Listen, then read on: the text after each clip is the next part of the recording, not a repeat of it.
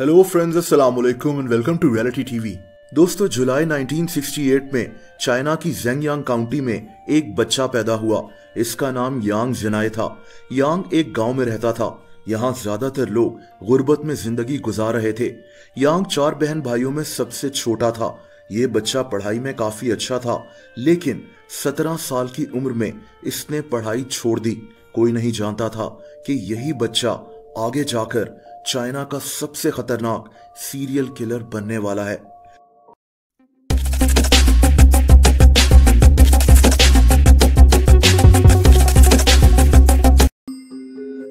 दोस्तों, पढ़ाई छोड़ने के बाद यांग ने अपना घर भी छोड़ दिया। ये चाइना में जगह जगह ट्रेवल करने लगा। यांग इस दौरान हर तरह का काम करता था और कुछ दिनों के बाद वो जगह छोड़ देता था। लेकिन दोस्तों, इसके साथ साथ ये चोरियाँ भी करना शुरू हो गया। एक दफ़ा इसे किसी दूसरे शहर सफ़र करना था, लेकिन इसके पास पैसे नहीं थे तो इसने एक औरत का पर्स चुरा लिया, लेकिन ये पकड़ा गया और इसको जेल भेज दिया गया। लेकिन जेल से निकलने के बाद भी इसने चोरी करना नहीं छोड़ी। दोस्तों 1996 में यांग को एक लड़की को हरास करने के जुर्म में पाँच साल की सजा हो गई। इतनी सजा काटने के बाद इसने तहिया कर लिया था कि ये अब कोई जुर्म नहीं करेगा। लेकिन दरअसल ये आदमी पहले से ज़्यादा खतरनाक हो चुका था। दरअसल जेल काटने के बाद ये एक लड़की से मिला। यांग इसको पसंद करता था और इससे शादी करना चाहता था। लेकिन जब इस लड़की को पता चला कि यांग पाँच साल जेल में गुजार कर आया है तो इसने यांग से शादी करने से इनकार कर दिया। यांग के दिल में इस वाक्य के बाद शदीद गुस्सा भर गया था। इसका दिमाग पहले ही जुर्म की तरफ़ मायल था और अब इसे लगने लगा कि पूरी दुनिया इसके खिलाफ है। ये अपनी गलतियों की सजा मासूम लोगों को देना चाहता था और तभी इस इंसान ने चाइना में जुर्म की ऐसी दहशत फैलाई जो नाकाबले यकीन है। दोस्तों, यांग लोगों के घरों में घुसकर लोगों को कत्ल करना शुरू हो गया। इसके मुताबिक इसको इस तरह से खुशी मिलती थी। यांग ज़्यादातर गाँव में रहने वाली फैमिलीज़ को टारगेट करता था। ये हर घर पर नज़र रखता था और फिर रात में सोई हुई फैमिली पर अटैक कर दिया करता था।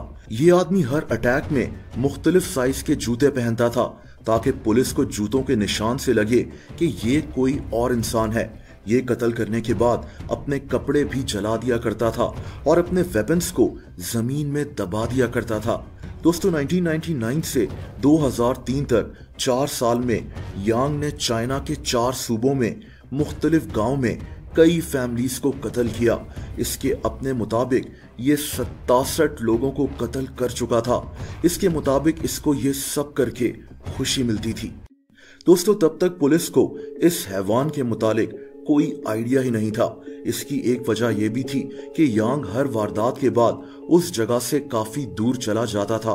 कई फैमिलीज़ की जिंदगियाँ उजाड़ने के बाद भी यांग बड़े आराम से अपनी ज़िंदगी गुजार रहा था, लेकिन एक दिन ये अजीब तरह से पकड़ा गया। दोस्तों, ये तीन नवंबर 2003 की रात थी। चाइना के शहर कैंगजाओ में एक नाइट क्लब था। इस नाइट क्लब में पुलिस रूटीन की चेकिंग कर रही थी।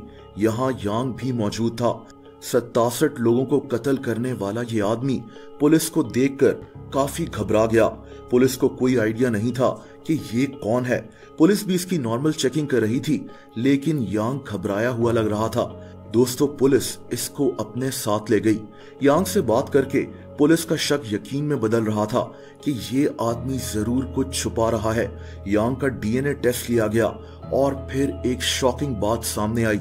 यांग का डीएनए उन कई लोगों के डीएनए के साथ लिंक कर रहा था, जिनका पिछले चार साल में कत्ल हुआ था। ये सारा रिकॉर्ड पुलिस के डेटाबेस में मौजूद था। दोस्तों, बहुत ही जल्द यांग ने अपने सारे गुनाह कबूल कर लिए।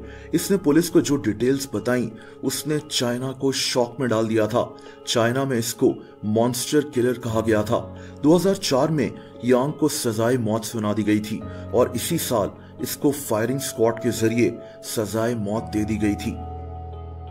यांग जिनाई को चाइना की तारीख का सबसे खतरनाक सीरियल किलर कहा जाता है। दोस्तों, अगर आप मुझे इंस्टाग्राम पर भी फॉलो करना चाहें तो उसका लिंक नीचे मौजूद है।